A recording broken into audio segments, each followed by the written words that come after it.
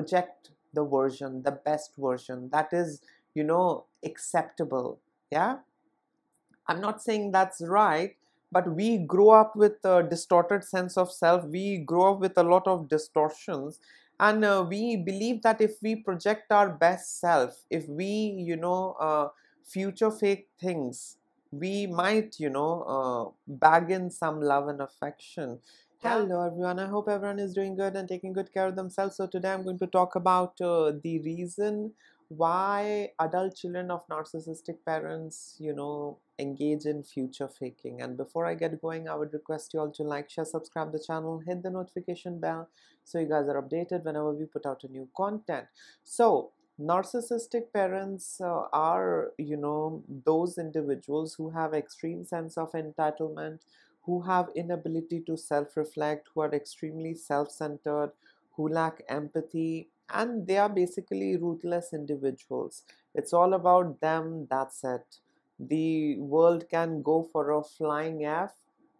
That's none of their concern. All what they're concerned about is what they are getting out of you. And this is the reason why narcissists choose to get married and you know choose parenting because they want you know uh, that uh, validation. They want that uh, appreciation. They want that feedback. They want gain profit out of the relationship. Relationship for narcissistic individual is very conditional. Yeah? If you don't do things their way they are going to confiscate all that love and affection. Um, relationship for narcissistic parent is very instrumental yeah so till the time you are able to do things for them it's fine. They'll throw tiny bit of crumbs at you. But the moment they see that you are unable to give them they are going to you know simply make you feel invisible. They are going to scapegoat you. They are going to make you feel as if you're not needed. You're worthless. Yeah? So narcissistic parents are not like healthy parents who you know foster healthy you know communication and healthy relationship who believe in nurturing the kid um, all of those things don't exist uh, you know when we look at narcissistic parents. Yeah narcissistic parents breed because they want slaves and servants who don't question them in return who don't disobey them who have the same genetic makeup. Yeah. So narcissistic parents are damaging. I personally believe that narcissistic parents are more damaging than narcissistic spouse because they distort your reality they erode your self-esteem self-worth confidence and you are just confused. You are in that uh, you know state of doubt all the time. You doubt your own self you doubt your feeling you doubt the others you doubt the entire world. So you know i mean i have my own reasons because i was also raised by narcissistic parents and i did have uh, you know a relationship with a narcissist as well. So you know i can compare and let me tell you narcissistic parents are more damaging. They take away the tools from you the tools that can help you, aid you to navigate this world. Narcissistic parents manipulate you and gaslight you to keep serving them, yeah, to keep you on hook so that you are in service of them. That's all. Now, you know, when you spend, you know, uh, a lot of time with narcissistic parents, um, you tend to believe that all of the abusive stuff that they are doing with you is normal and that's what exists in every relationship. And as a result of which you know we keep attracting toxic individuals antagonistic individuals and narcissistic individuals. And sometimes we keep wondering why the hell am i attracting all bad people? Why the hell am i attracting all toxic individual? And it is because you know uh, our sense of self is blurred. Our you know reality is blurred we really cannot differentiate you know from good and bad yeah?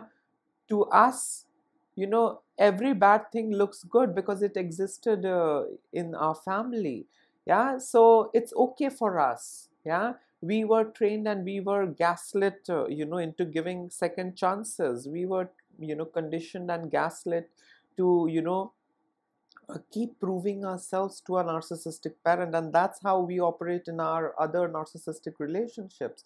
We you know keep burning ourselves out you know to prove yeah that i'm worthy of this relationship. I am worthy of your love and affection. Yeah so you know it's it's a great deal of distortion that happens in the childhood when we are raised by narcissistic parents and as a result of which we keep attracting narcissistic individuals. Now coming back uh, you know to the topic um, what are the reasons you know that makes these adult children of narcissistic parents you know engage in future faking? Um, i'm sure you guys must have you know seen and observed that uh, a lot of these kids who are raised by narcissistic parents um, they engage into you know future faking and uh, that is a kind of a survival mechanism for these individuals adult children's and uh, this is basically to get some empathy. This is basically to seek some love affection and you know a sense of belonging. That's it yeah? That's what uh, you know uh, they learned in the childhood shape shifting. And the next stage you know is uh, future faking yeah so, what are the reasons as to why you know kids of narcissistic parents or adult children of narcissistic parents engage in future faking? The first reason is invalidation of authenticity. So, every time when we try and be ourselves, we were shamed, we were invalidated, and as a result of which we you know uh, put in more effort to be the version that was acceptable. Yeah we had this uh, eroded sense of self. We you know had this uh, eroded level of confidence and self-worth. So as a result of uh, you know constantly being invalidated dismissed and minimized we you know learned that we need to be the version that can get us that love and affection. Yeah? The version that can you know uh, be validated. The version that can get my parents' love and affection. So, when we are raised in narcissistic families, uh, we learn that we need to be the version that they approve of. Narcissistic parents approve of. We need to be the version that they approve of. Only then we can get that love and affection yeah? So as a result of which we get into this shape shifting business. Yeah? And also you know somewhere or the other we want to get over that shape shifting business. Somewhere or the other an inner voice you know keeps telling us why do i have to be a certain way to be loved and to get all that affection and you know uh, to experience empathy. Why do i need to be a certain way? That voice is there inside of all of us but we choose to just numb it and mute it and that's it. Yeah? So as a result of all that shape shifting all that invalidation we then get into you know this future faking also. We start projecting the things that can get us some empathy, love, and affection. We start projecting things that is you know very much valid and that can easily get approval yeah? So you know we we learn all of that you know by constantly you know shape shifting. We are constantly invalidated. Our authenticity is never you know encouraged or entertained. We are invalidated. Our authenticity is invalidated. And as a result of which we learn that uh, it's better to be the version that serves them yeah then i'm going to get the love and affection. And as a result of which we also you know get into this future faking business yeah where we project the version the best version that is you know acceptable yeah. I'm not saying that's right but we grow up with a distorted sense of self. We grow up with a lot of distortions. And uh, we believe that if we project our best self if we you know uh, future fake things we might you know uh, bag in some love and affection yeah we might experience empathy of the others so you know as a result of which we you know, uh, you can say um, unknowingly engage in future faking because uh, um, that uh, is a kind of a survival mechanism for ourselves. Yeah. So, you know, we tend to, you know, uh, future fake things. Oh, I'm going to do this. I'm going to get you this. I'm going to get into this. And uh, let me tell you, we shouldn't blame the kids, the adult children of narcissistic parents you know for their you know future faking abilities it's a kind of a survival mechanism that they have you know developed yeah to survive and you know be a little stable and okay in their own way yeah the you know person that uh, needs to be blamed is the narcissistic parent who had been constantly invalidating their kids authenticity who had been constantly chipping and eroding away all you know their kids uh, self-worth and self-esteem yeah? So you know the person to be blamed is the narcissistic parent and not these adult children. They are simply you know dysfunctional individuals walking in adult body. That's it. Yeah emotionally immature individuals who are walking in adult body. And uh, they do all of these things basically to cope and to survive. Yeah? And as a result of all that manipulation invalidation minimization they get into this uh, future faking because they think that if I lie, if I tell them that I'm going to become this, I'm going to become that, I'm going to do this, I'm going to do that, this person might love me. Yeah, because uh, I I got some amount of love and affection from my narcissistic parents by future faking. So let me you know use the same you know uh, method onto the others. But uh, not everyone is a narcissist. Yeah uh, people are you know on uh, different levels of emotional maturity so you know some of us can see through some of us can understand and uh, of course the adult children are to be blamed for what they are doing or for what they are you know projecting and you know showing others but uh, you know the majority of the blame you know uh, should be reserved for the narcissistic parents and not these adult children of narcissistic individuals. The next reason why adult children of narcissistic parents get into future faking is uh, because they grew up in an environment where there was no unconditional love. It was all about, you know, conditional love. So they had to be a certain way, only then they were loved, only then they were validated. Only then you know they could experience uh, affection. Yeah? So you know this conditional love also grooms these individuals adult children of narcissistic parents to get into this future faking. They always had to be you know a version you know that could get them love and affection. If they tried being themselves they were invalidated. So they got that message yeah that uh, me being myself is not good. Me being myself is not right. If i be the way you know my narcissistic parents approve of then i will get that love and affection so this conditional love you know in a way you can say trains these children, adult children of narcissistic parents, to get into this shape shifting business and get into future faking. So they will, you know, uh, become the version you want them to be. Yeah, and this is basically to get that love and affection. Yeah, they uh, did not reach maturity because their growth was stunted because of that constant manipulation, gaslighting, a triangulation, passive aggressive behavior, silent treatment. What do you think all of that does? That simply stunts your growth and you know that's what happens with these adult children of narcissistic parents you know who spend a great deal of time with uh, their narcissistic parent i mean i also had problems. I also you know used to see the world in a very different way. And now you know when i have healed i have overcome i am helping others. Now the way how i look at things has changed drastically.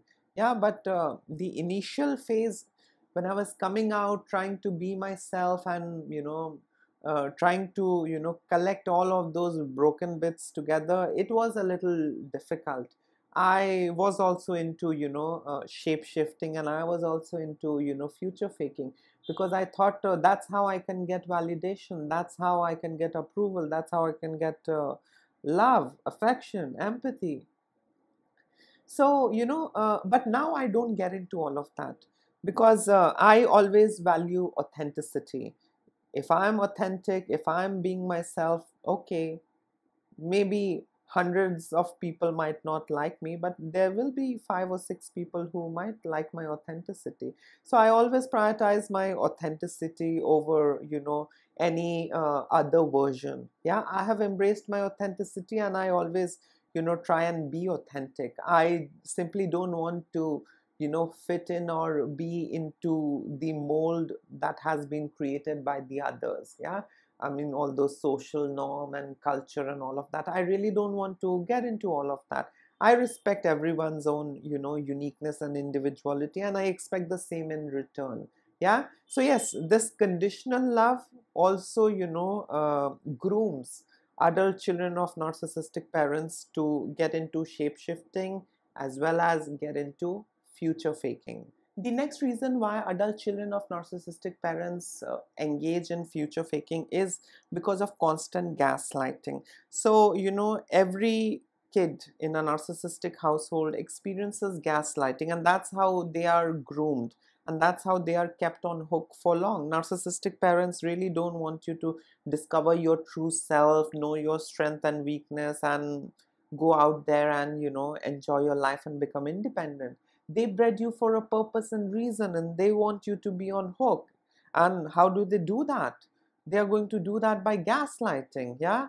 They're going to keep gaslighting you keep uh, you know making you second guess and question your own sanity your own self. They are going to you know make you doubt your own feelings your own action and they're going to you know uh, put you into that doubtful state where you doubt the others as well so when we are constantly in that state of confusion because of that gaslighting we engage into this survival strategy that is future faking.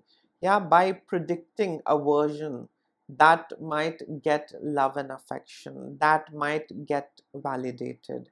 Yeah so it's a kind of a survival strategy um, that we engage in when we are raised by narcissistic parents and that is future faking. So we are being constantly gaslit or you cannot do anything right. You can never do things you know the right way. You are oversensitive. You're overacting. You're making it up. It's all in your mind. We know you know what gaslighting feels like. So as a result of which you know we get into this uh, future faking that uh, I'll get rid of all the bad things that they are telling me and I'll become a better version. Yeah, I will do everything right. I'm going to achieve this. I'm going to achieve that. Yeah, that is basically to, you know, uh, combat. That is basically to, you know, survive yeah so you know because of constant gaslighting you know we you know uh, engage into future faking yeah because we believe that future faking is like a survival strategy yeah and that can help us get some validation maybe i can project a version which is flawless and that can you know uh, get me some amount of love affection and validation and why am i trying to do that because i have been you know, uh, constantly gaslit. I was unable to do anything right as per them. Yeah.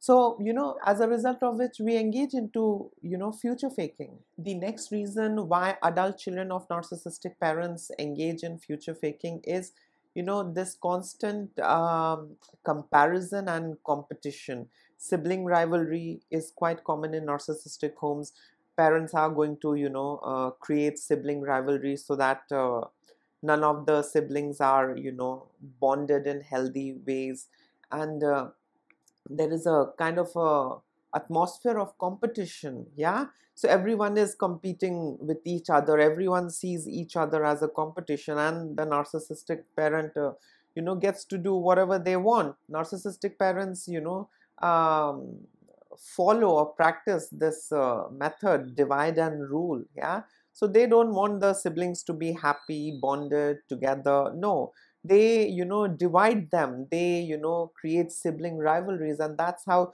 they you know are able to exert better control over their kids. I mean the slaves that they have created to serve themselves. So you know because of this uh, atmosphere at home you know constant comparisons sibling rivalry narcissistic parents comparing their kids with the others. Oh look at their son he's so successful. Oh look at uh, you know his daughter you know she's so obedient. So you know because of this constant uh, competition sibling rivalry and this comparison you know we often you know uh, resort to future faking. Yeah? So let me project uh, a version that is going to you know get me some amount of validation. Let me you know future fake things so that i am loved i am also respected. I am also you know treated you know like the others. Yeah so you know kids resort to all of these things basically to you know get some amount of love and affection and validation whether it is shape shifting or future faking. Yeah so because of this uh, environment of constant uh, you know um, competition and comparison kids you know uh, get into i mean adult children of narcissistic parents get into this future faking. And it starts from childhood yeah? I mean uh, kids uh, who are raised by narcissistic parents uh, they also you know get into future faking. And then uh, you know when they you know grow old they you know get into this future faking even more yeah? So it starts from childhood but yes i mean like uh, you can see a full extent of future faking when they are adult and grown up the next reason why adult children of narcissistic parents engage in future faking is because of uh, you know uh, emotional blackmail. In narcissistic families narcissistic parents are victim into emotionally manipulating their children, guilt tripping their children, shaming their children, um, giving threats to their children. They do all sorts of, you know, emotionally abusive things to their children. And as a result of which, you know, the kids learn, yeah, that uh, I need to be a version they approve of in order to avoid all of this, yeah all of that emotional manipulation, shaming, guilt tripping, and all of that. So, you know, the kid, uh, you know, learns that uh, shape shifting is the only way forward. If I have to survive, if I have to, you know, uh, move ahead, I need to shape shift. And as a result of which, you know, they get into this future faking. It's it's almost like a defense mechanism you know in order to avoid all of that emotional manipulation they get into future faking. Don't oh, worry i'm going to do this this way. Don't worry i'm going to achieve this. Don't worry i'm going to get this. Yeah so they use future faking to avoid all of that emotional manipulation. They don't want to be guilt tripped. They don't want to be shamed. They don't want you know uh, um, to be treated with threats yeah withholding love and affection. You know kids don't want that. And in order to avoid all of that they use future faking as a defense mechanism. I'm going to do it. Don't worry i'm going to score good don't worry i'm going to get a good job. Don't worry i'm going to you know make a lot of money. Yeah so it helps them. Yeah it's it's like a defense mechanism that helps them feel protected. They are able to protect themselves. And the last reason why adult children of narcissistic parents engage into shape shifting and future faking is you know the lack of emotional support. So narcissistic parents are emotionally absent in the relationship. Yeah? Narcissistic individuals are all about themselves extreme sense of entitlement self-centeredness selfish. It's all about them lack of empathy. So a narcissistic parent is unable to you know uh, support their kids with uh, you know um, empathy or any kind of emotional support. Yeah um, they are unable to give that because they don't have it on the inside yeah?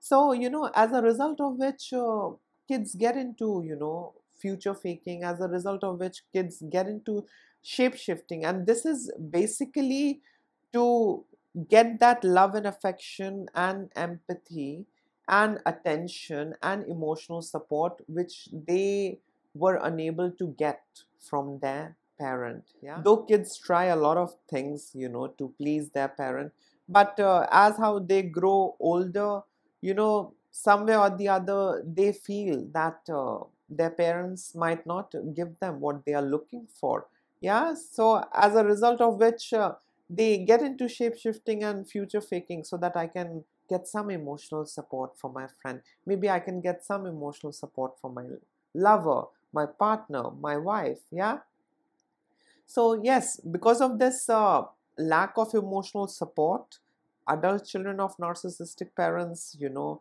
get into future faking and you know shape shifting. Yeah, and they do this because uh, they did not get that emotional support from their parent, which they you know were supposed to. They did not get it. So you know how do they get it from the others?